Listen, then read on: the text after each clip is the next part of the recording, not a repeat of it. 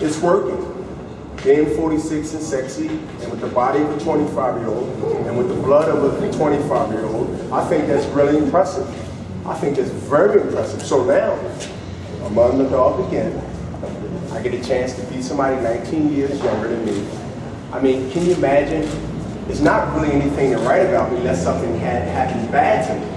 Then it becomes news. Right now, it's like you did it again. I continue to do it. So it really would be a short story with me, two days of press, and that's it. So I don't want y'all to get bored with me. I want y'all to understand, especially if you're 39, pushing 40 and up, that what I'm doing here is something that who's saying that we might be alive or you might be alive to see another athlete in any other sport saying, look, man, this guy, this guy, I mean, we had Brett Favre at one time saying, hey, you know, this that, he's off the, the, the plate now, so now you got to look at me and say, hey, when is Bernard Hopkins is going to at least show up and look like he's actually the age that he is? And that's a movement itself.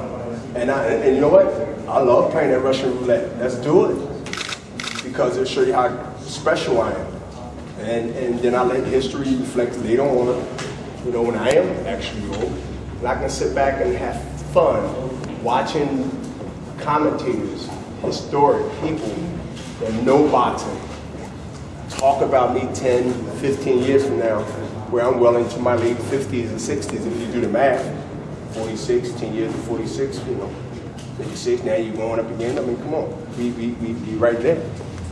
You know, you asking, you know, people ask you all the time for predictions, right? With every fight.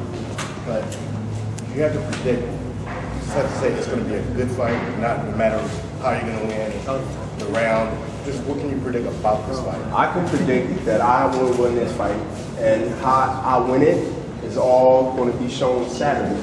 Uh, you never know how fights turn out to be, but I know that I have to go in there, and I know I train to win, I think to win, and that's all. There's no negotiations with me. I don't have no doubt about who I am and what I can do. You have to show me that you have that same same uh, uh, uh, uh, drive and the same meaning that I have. And when you run into a guy that feels that way and says that, then you're going to have a fight.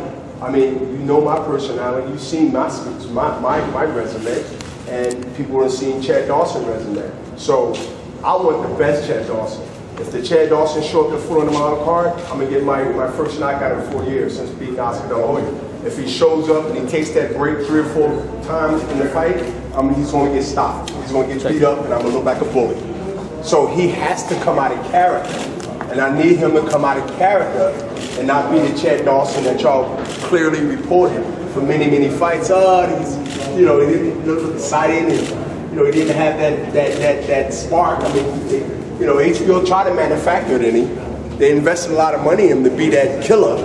But he seemed to, you know, the name though matches the last, at least the last three or four outcomes. When you when you got a name bad, if you ain't Michael Jackson, God rest his soul, you shouldn't carry certain titles. You can't be called killer and you don't fight like it. You can't be called bad and you don't respond like it. When you get names like Sugar Ray, you gotta be a Leonard and accomplish that. When you start putting titles like Sugar Ray, you coming after Sugar Ray Robinson, man.